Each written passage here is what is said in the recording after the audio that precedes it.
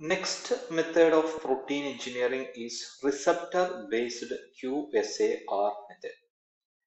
This is based on computational combination of structure activity relationship and receptor structure based design.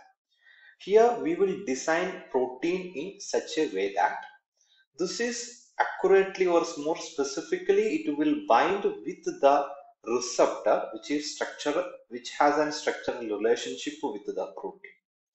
So that is the method receptor based QSAR method. Next method is phage display technique. This is the one of the most common method which is non non uh, non-molecular display technology which relate phenotype with their corresponding genotype.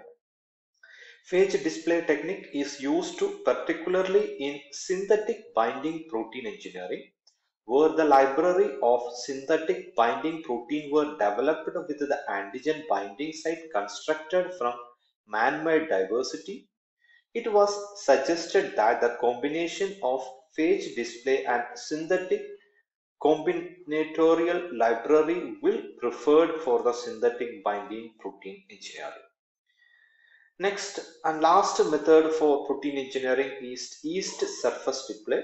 display. Using this method, many different proteins can be displayed on yeast surface and the yeast secretory biosynthetic system will promote the efficient N-linked glycosylation and oxidative protein folding. Yeast surface display has recently has suggested an important methodology for protein characterization and identification of protein interaction ഇപ്പോൾ yeast സെല്ലിന്റെ ഒരു പ്രത്യേകത എന്ന് പറയുന്നത് അതിന്റെ cell സർഫസിലുള്ള secretory biosynthetic system ആണ്. Okay it will promote the efficient and linked glycosylation and oxidative protein folding in this way also we can modify or we can engineer the engineer the protein uh, in such a way that to get a desirable protein. Now coming to the applications of protein engineering. What are the different applications? There are many applications like industrial application, environmental application, medical application, biomolecular and nanotechnology and redox protein engineering and other new applications. Let's discuss one by one. First one is industrial application. As we all know, proteins or enzymes are made up of proteins in uh, and uh, three-dimensional structured proteins. So this protein engineered or modified protein can be act as an enzyme which can be used for uh, different industrial purposes. So industrial application consists of there are two type of industry like food industry and detergent industry. In food industry, it is mainly used for the production of different food, foods. So some uh, examples of proteins or enzymes which is used in food industry are protease which is mainly used for the production of no allergic infants formulas, milk, clothing and flowers and Another enzyme amylase is used for the liquefaction and saccharification of starch and also it is used in adjustment of flour and bread softness and volume in baking. Lipase enzyme is used for the stability and conditioning of dough uh, and uh, in cheese flavor application. In detergent industry, the protease enzyme is used to remove the protein stains. Amylase is used to remove the uh, starch stain and lipase is used to remove the lipid stains. So that is the industrial application of protein engineering. Now second application is environmental application. So uh, by modifying the proteins, uh, we can produce some enzymes which have a catalytic activity to eliminate the environmental pollutant and it can be uh, included in gene expression regulation to provide high catalytic activity under the environmental stress condition to detoxify these pollutants.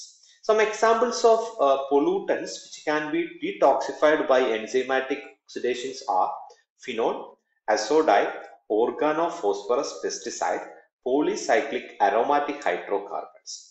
And in petroleum biorefinery refinery, this protein engineered enzymes can be used for fuel bio desulfurization, denitrogenation, and heavy metal removal, etc. And for improvement of hydrogen peroxide stability, increasing redox potential to uh, bioburden uh, the, uh, the substrate range, heterolocus expression, and industrial production development. These are the different application in environmental field for by using uh, protein engineering. Now, next application is medical application.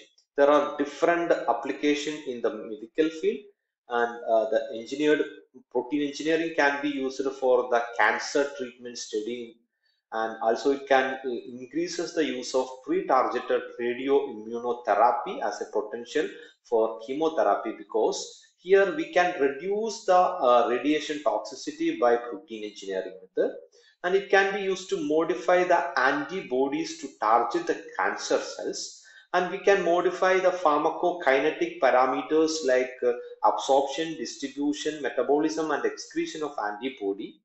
And uh, the antigen binding site can be produced for uh, ultimate case as an image probe specific to target tissue and molecular imaging tools based on antibody will find more application in the future. So these are the different application in the field of medical. Now coming to next application that is biopolymer production. The engine, protein engineering can be used in combination with the macromolecular self-assembly for the utilization of some peptide-based biomaterials such as elastin-like polypeptides, silk-like polymers, etc. The ability of protein engineering to create and improve the protein domain can be utilized for producing new biomaterial for the medical as well as engineering applications. Now, next application of protein engineering is nanobiotechnology. So this can be used along with the phage display and bacterial cell surface display technology. We can use it to deliver the drugs uh, in the body uh, here a use of amyloid fibrils as a structural template for nano wiring construction which has been high potential to be used as in uh, used for the nanotechnology. So that is another application. Now next application is redox proteins and enzyme. The electrochemistry of redox proteins particularly draw attention for the application in biofuel cells, chemical synthesis and biosensors cytochrome P450 monooxygenase enzyme and protein engineering of this enzyme catalyst can be used in the different field like uh, medical, biotechnological and bioremediation applications.